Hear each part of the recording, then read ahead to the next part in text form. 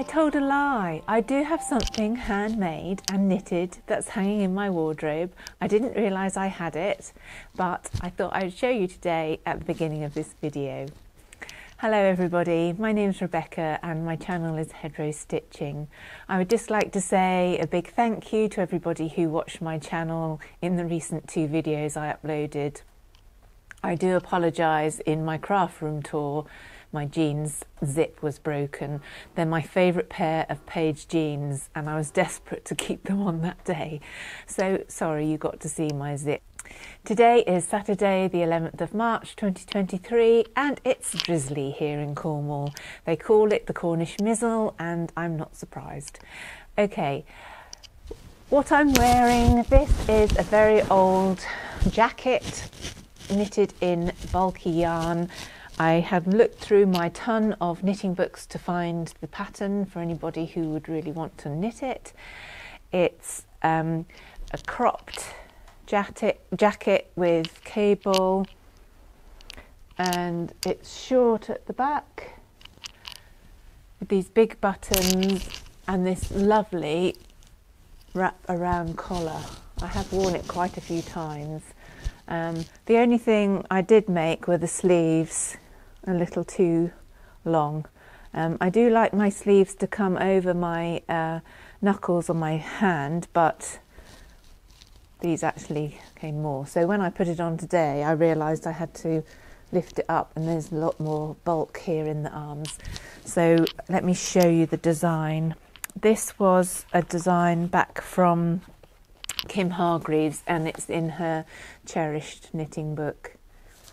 It's called Ember, the Ember jacket.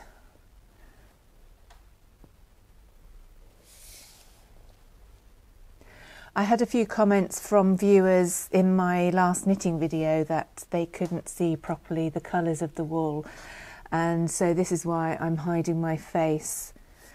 I was trying out a new setup and using a camera that is new to me so um, it's all trial and error isn't it and it's not a TV show here.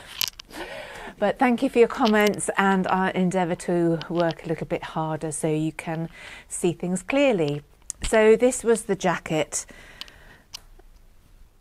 I had to show you. I have knitted so much um, all throughout my life.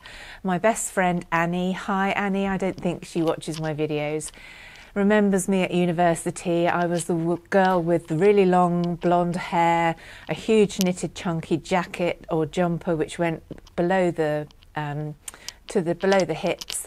Um, skinny little legs in leggings and a pair of Doc Martin boots. And uh, she can just remember me with all these different knitted jumpers um, that were great for keeping warm. Okay, I'll take this off a second. I have to mind my microphone. Um, I've also got on, this is my husband's waistcoat that I knitted him a good few many years ago.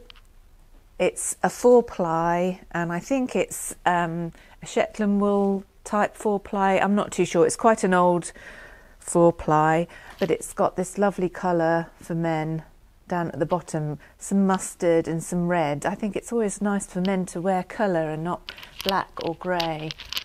Having said that, I've just finished his hoodie, which is grey. But anyway, it involves some colour work and some colour work at the top here. And I have a million um, knitting patterns. I've got one, two, three, four, five, six, seven, eight, about eight of these um, a4 folders full of knitting patterns. These are ones that I've downloaded and printed off, or people have given me, or are separates that you could, you could purchase years ago. And this is my men's volume. Um, it's not labelled, so I had to pull out four before I could actually find it. So perhaps I should get a little bit more organised and label them up. And I managed to find the pattern for this um, tank top, I suppose you would call it, waistcoat. And it's um, called a Fair Isle waistcoat by somebody called Wendy Baker. And it's in a book called Classic Knits for Men, which I don't have, but I do have the um, the pattern. This is the quite old. It's um, it was published. Mm, doesn't give a date. Not being very helpful, am I? Um, Classic Knits for Men. I think it's a Rowan design by Wendy Baker. So if you're interested in um, getting your chap to wear a button-down waistcoat, um, I'm going to keep this on because I'll keep warm, even though you can hear the flickering of the fire downstairs. Um, we just lit our wood burner. Um, also, I thought I would show you not finished object um, for me, but another finished object I made my husband, and it is this Fair Isle. Whoop, another Fair Isle waistcoat. He doesn't like to get too hot during the day or when he's at work, so um, this is a sleeveless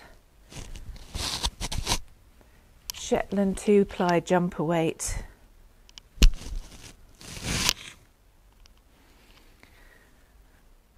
Jumper for him. It's got the gorgeous bright yellow, uh, royal blue colours here, this lovely dark red, some dark teal, and then on the rib you've got the colours again here. This is a really, really old pattern. The walls are really old, so I'm not sure if you can still get the same colours. I'm sure you would be able to. Um, one lady did leave a message on my previous video and asked me um, what the difference was between two ply um, jumper weight and Aran. Um, she wasn't um, familiar with those terms, and so I did direct her to a really brilliant video I've watched recent, recently and um, about someone talking about the different sorts of yarns that Jamieson and Smith actually produce. I will link that um, video down below because it is in the comments of my last video. Um, so if you are interested in finding out more about Shetland wool, um, then pop over to their website and have a, a look at the YouTube channel, um, which I'll link down below. I thought um, I would show you, I did mention in my last video um, that my daughter had started knitting again and it sort of spurred me on again to pick up some of my old WIPs and also get back into my knitting. I've always um, knitted and I hadn't for a good while, so I was obviously concentrating on my sampler stitches. So um, I thought I would show you what she um, inspired me to take up knitting with again. So she used this green colour and Wool and the Gang yarn. And she made, it was a kit that I bought her for Christmas, and she made this in four days. She's not sewn it up yet, but it's the most gorgeous cropped sweater. She sewed it with, uh, the body is an all-in-one with the neckline and then she had to pick up stitches for the sleeves and then they've got like a balloon cuff finish to them on the ends of the arms um, and I think for a beginner sweater knitter. This is an ideal gift. I'm not sure if it's still on their website, Wool and the Gang. I'll link their main website below, but it's so soft. And this wool is, um, let me have a look. It's a chunky, super chunky. It does say uh, 8 millimeter US 11 needle, and it doesn't say if it's. I would imagine this is superwash wool because it feels like it's been treated superwash. But being a, uh, a young adult, she can throw it in the washing machine if she wants to. And um, but it's so soft; it's absolutely gorgeous. So this was the sweater she made, and she was knitting over Christmas. This was the wool, and it encouraged me to get my knitting back out again. Okay, a little while ago, um, my husband asked me if I could make him a new tea cosy for our teapot. And he had a Union Jack one which had seen better days. I mean, it looked as if the moths had been to tea, really. So I picked out this lovely book, which is again Jamieson and Smith, Knit for Scotland, oh, Real Knit, Knit Real Shetland. Sometimes I talk and I really don't know what I'm saying.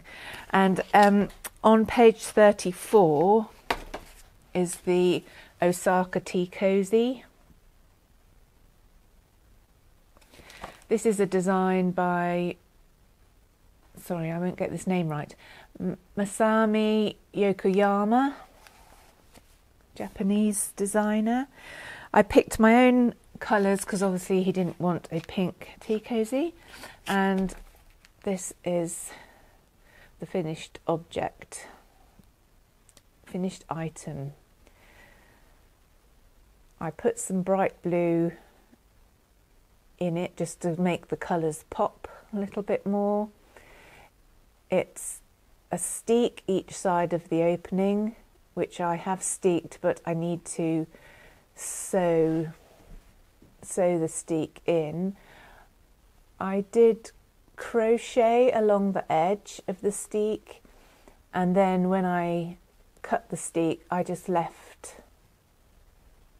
the ends and they haven't unraveled or anything. So if you do that crochet over the end, it um, seals those steeks. So I need to just fold that over and whip stitch it down. It's a very quick design. I'll show you the inside so you can see my colour work. I haven't done colour. I hadn't done colour work for a good many years before I. This was my first project back, and it's a lovely. Um, it could, actually you could wear it as a hat. the hat patterns are very similar. So that's that one. So the Osaka Tea Cozy, if you are a tea drinker and you used teapot instead of tea bags, that's a cool pattern to use. Um, moving on, this is my Fair Isle tam, Scatnest tam I showed you last time. I haven't got very far, I'm just um, doing the shaping along the top, but what I wanted to show you was, da-da, I bought myself a Twizzler, Twizzler, Twister, whatever you want to call it. Um, you, you thread your balls onto this uh, time shape and you can do your colour work. You can hang it on your wrist, you can hang it from a side chair arm and I think the reason why I haven't finished this one is because I was getting my two colours twisted a lot and this makes it a lot easier. I do do a form of continental knitting when I'm doing colour work um, by holding one um, thread, one colour thread in one finger and the other colour thread on the other hand finger. Um, so I do find that quite fast, but I think I didn't want my balls to go all over the floor, so I um, purchased one of these. And I'll link below the shop that I got it from in the UK. I'm sure they're available, you know, in most decent um, yarn stores. So that was just what I wanted to show you on that little hat, which will soon be done.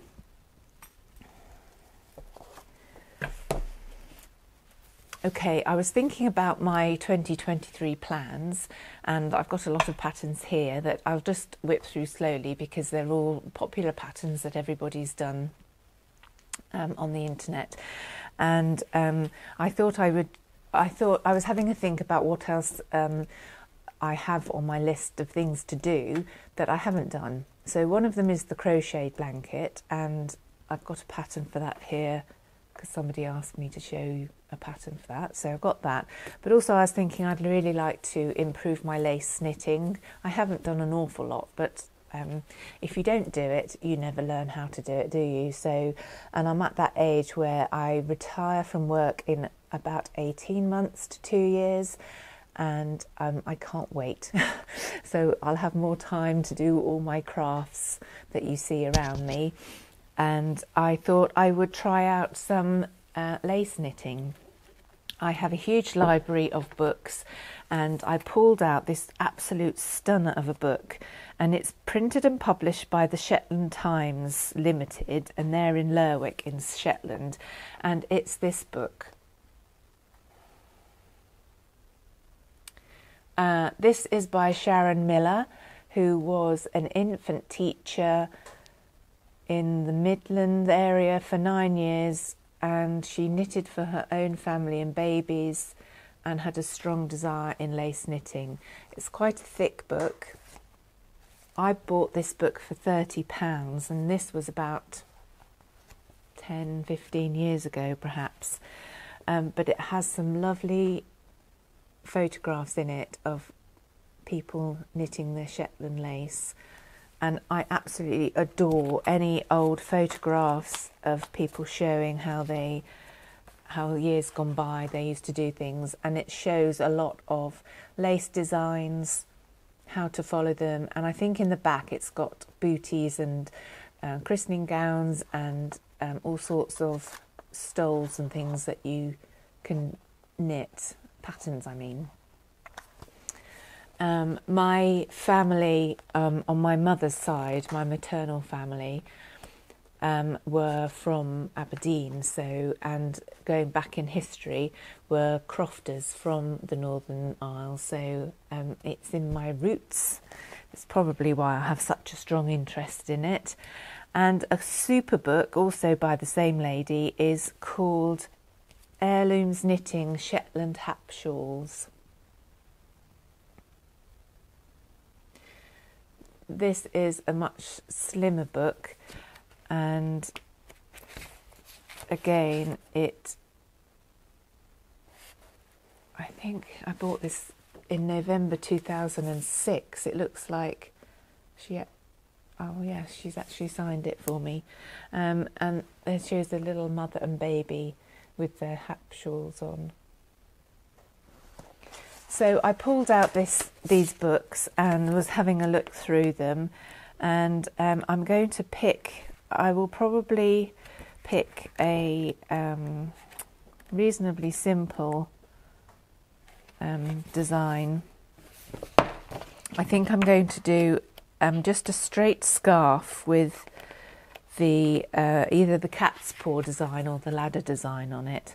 Um, let me just show you this lovely photograph of this lady. Sometimes I think um, perhaps knitters lived in this property. Um, it's an old farmhouse that we bought when it was falling down and have spent a lot of um, time and capital in um, getting it back to a habitable condition. And I do wonder if um, people knitted um, while they were living here. So, um, to be able to do this piece of lace, I bought just one skein to practice with of the Jamieson's Ecru Waistlet. Waistlet. Lace weight. What is wrong with me today? I have no idea. And um, a size 6 circular needle practice my lace patterns. So next video I'll show you how I'm getting on with my lace scarf that I'm just going to make up from a pattern from using a pattern from this book. So that's what I've got on my current agenda. Um, moving over to my son's top that I showed you last video, I've actually printed off a copy of the top pattern lighthouse vest, which is a drops design, and let's see.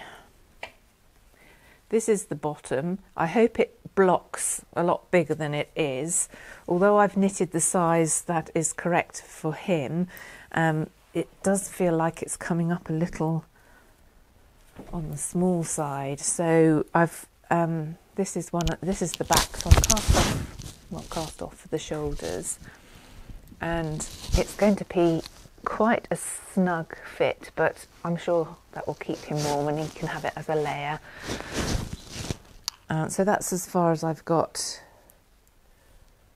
with his design, and I'm sure uh, this Warbles wool is quite um, not coarse but hard wearing because obviously they're sheep that weren't bred for their wool. Um, I think the staples of the wool are, have got, are quite long, and um, I'm sure it will block very nicely. So that's um, my son's sweater. Um, I bought the other day um, some knitting for Olive silk mohair and this colour is putty and what I wanted this for was to do a petite knit um, quick top for myself and I had this Shetland wool that I unwound from a previous design but it doesn't really go. What I need is cream. This is a putty colour and I also had in my stash um, about seven or eight balls of this which is I think this is um, silk. It's a four, four ply sport weight and it's silk, four ply sport, scrumptious, 45% silk, 55% superwash merino in the colour oyster. And I thought maybe that colour would go together, but I'm not keen this has got too much pink in it, and I think cream would go much better with those two. So they're um, just ones I've been experimenting with. I did um, treat myself to one ball of this beautiful colour wool, and this is Cardiff Cashmere and the Cashmere Classic in the colour in the colour 677. It hasn't got an actual named colour. And on a three and a half needle, I wonder if you can guess what design this is. I started this last night and this cashmere is just so soft. I started the Petite Knit Sophie scarf this is going to be super quick. I started this late last night um, and it's just, oh my goodness, it's so soft. And um, cashmere. So that was my petite knit. And then I um, printed off a couple of designs. I'm hopping backwards and forwards today. The um, cotton I showed in my previous video and said I was going to start a hexagon blanket with, I um, didn't have an actual pattern for it, and somebody on the web did ask me what pattern I was going to use, and all I could do was link to a, um, a website for learning how to um, crochet hexagons. But going through all my um, folders, I did find a hexagon pattern and this was um, something I printed off, gosh, 2014, so a good while ago, and it's um, by the amazing Attic 24 crochet designer, and she has put up a crochet design blanket for different colour weight. I'm just going to use the same colour for the whole crochet uh, crochet design, but there's another uh, written pattern with good um, photographs if you want to use that one. So I just thought I would show that one. And then I've just got a couple of designs, know them. So this one is the Oslo hat. I did see, and I can't put my finger on it now, I did see, I think it was somebody's podcast where she had made this beautiful pink, bright pink, like lipstick pink um, Oslo hat with two yarns held together. I think it was a knitting for Olive merino and their silk mohair. And I went on the site that sells knitting for Olive over here in the UK, and they didn't have that lipstick pink. So maybe that was a product that they don't make anymore, the colour they don't make anymore. Um, but this hat she had was absolutely gorgeous and I think I need a little bit more colour in my life and in my knitting so um, I'm going to see if I can find a lipstick pink um, thin merino so I can make myself the Oslo hat which is one reason why I printed it off.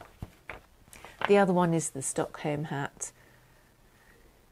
So I've been going through my um, stash to see what I've got.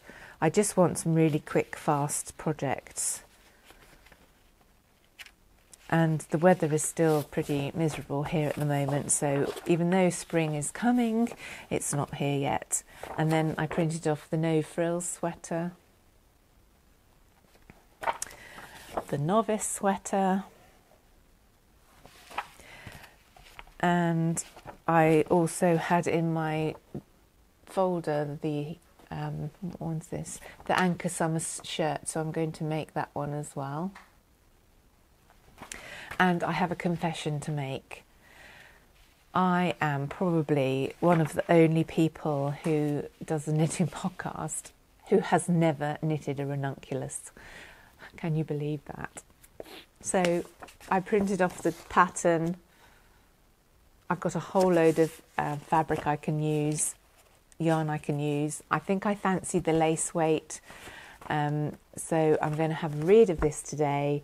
I'm going to put aside some of my stash and get on with doing a ranunculus sweater. And perhaps I'll do a video just on the ranunculus, how I found it as um, someone who's never knit it before. I've heard a lot about it, I've seen a lot of people wearing theirs, um, I've seen all the projects on the Ravelry page, and perhaps 2023 is my year for knitting a ranunculus. Um, that's all I have for today. I thought I would do a video.